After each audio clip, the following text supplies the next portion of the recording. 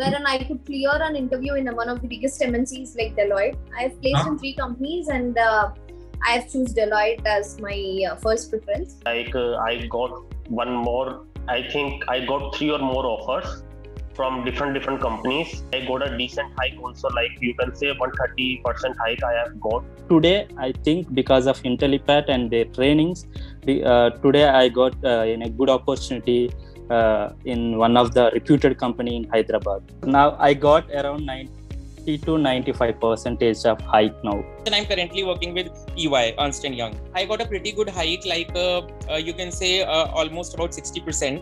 like i got selected in five other companies as well uh, with the current company in tcs when i switched from scl to tcs it was like uh, almost 50% hike i got. Got So I changed my career. Yeah, I changed my career. I did the course from Intellipaat and I changed my career from I I learn all the things then with Intellipaat and uh, yeah then after that I got a job in EY and in as a Power BI developer only. Hike so I got a 75% of hike uh, in my salary